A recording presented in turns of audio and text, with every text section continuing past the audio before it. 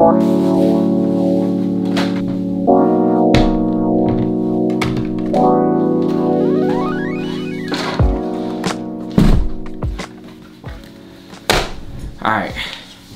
Whew. Oh, I don't got a hat on.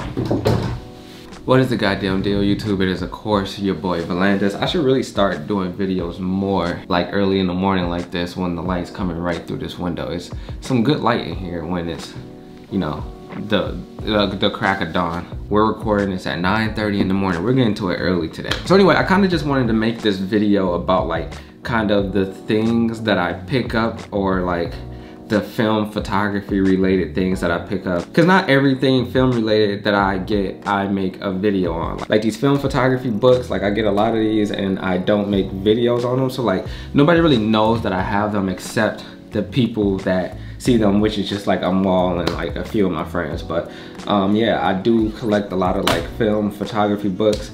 So um, a lot of cool ones too and a lot of insightful things and information in some of these books.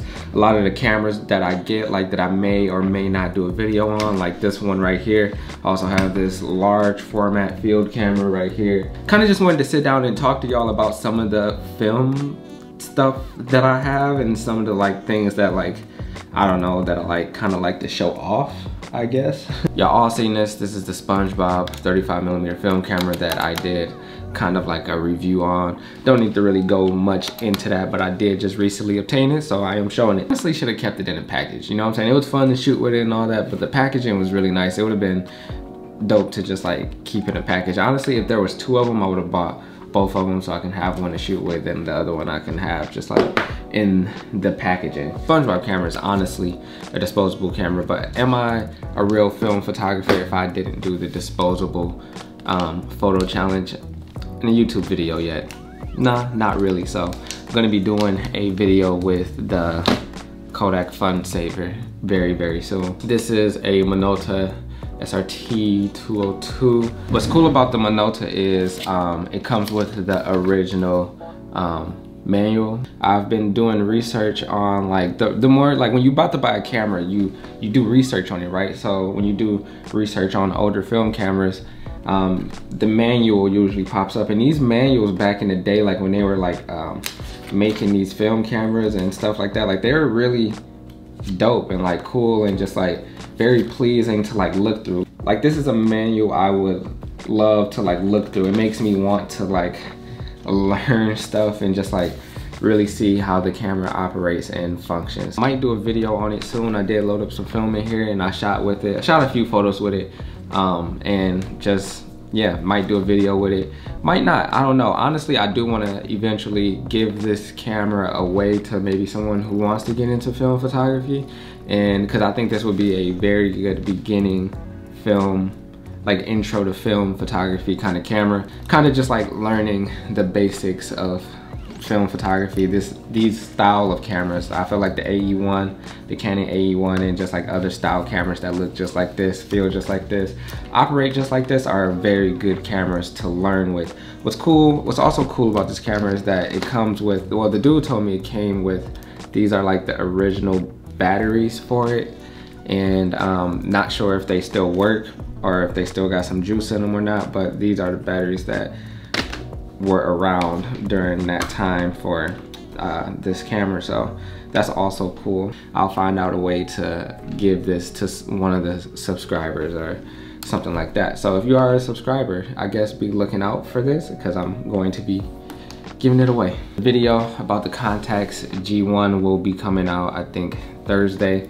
Um, very good camera very amazing camera. I don't want to talk about it too much because i talked about it a lot in the video that's up and coming but if you follow me on twitter or instagram in the two days or three days that i've had it you you know that i love this camera and it's a very good camera and yeah that's the video for that is coming very soon. This is nice camera bro. Love this camera. Finally on our list of cameras is this large format field camera. Now this is not my camera, this is Sam's camera. Um, I'm doing a video on it. I'm going to be taking some large format photos of my dad for um, my book that I've been working on for years, it feels like, but I kind of want to buckle down and start getting photos for my book. I keep talking about it more and more and I've been finding myself doing more and more kind of work for that book. Now, a lot of the work in my book, I want to be candid and kind of just like things I capture, but things that I do want in my book, in particular, portraits of my parents. So um, I do want to take a portrait of my dad on large format because I think it'd be very cool and just like funny. My dad's funny. I'm gonna be doing a video on the large format and the pictures that I take of my dad with the large format camera. So um, I guess be looking out for that video. I don't know what kind of large format this camera is. Toyo Field 45A says it right there. All you gotta do is look sometimes, I'm assuming, but for what large format cameras are, this is a very small, large format camera. Well, smaller than the ones I've seen and has have worked with. So um, yeah, it folds up into like this nice little briefcase. I will assemble it for y'all really quick.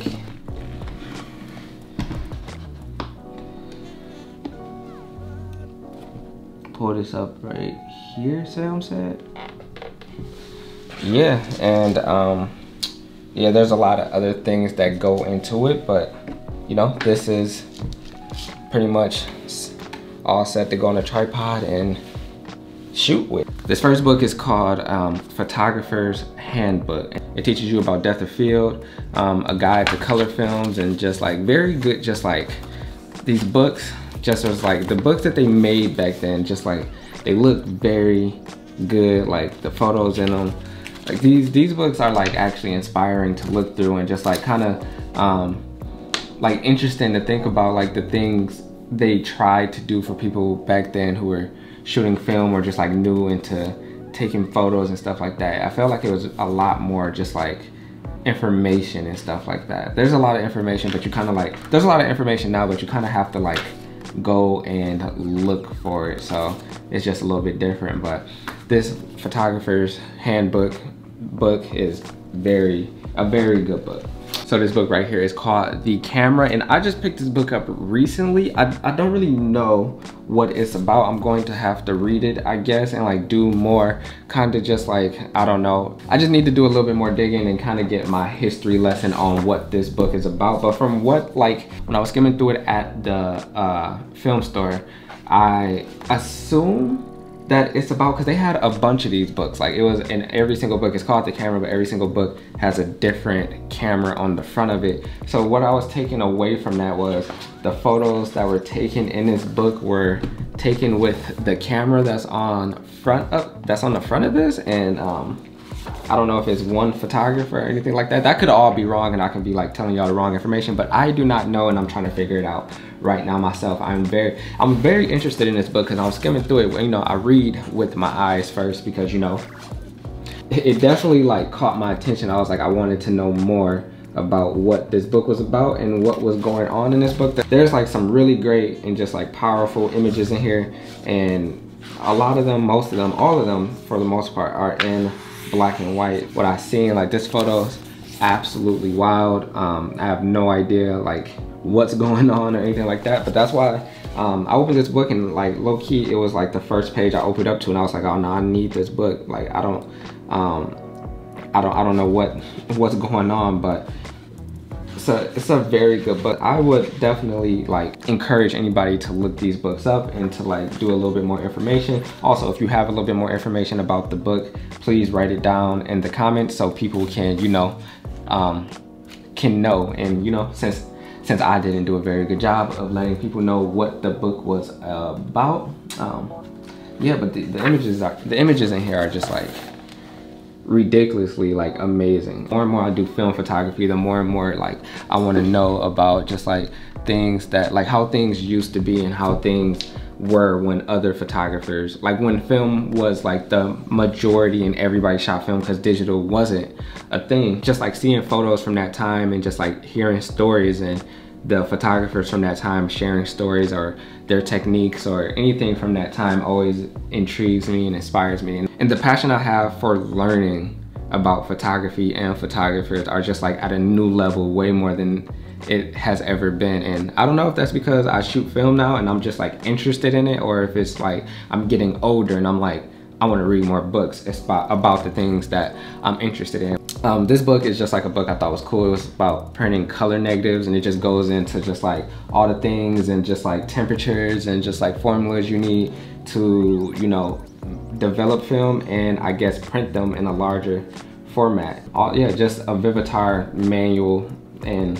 hand like accessory book for the most part. But this is another book about cameras. What do you know? But it is mainly about just, um, it's not a very big book, but it's just like the internals of a camera and just like how cameras like work pretty much. Literally it's how cameras work. So if y'all kind of want to see more of just like me and the things that i buy for absolutely no reason over a month's time let me know. I might do one at the end of every month.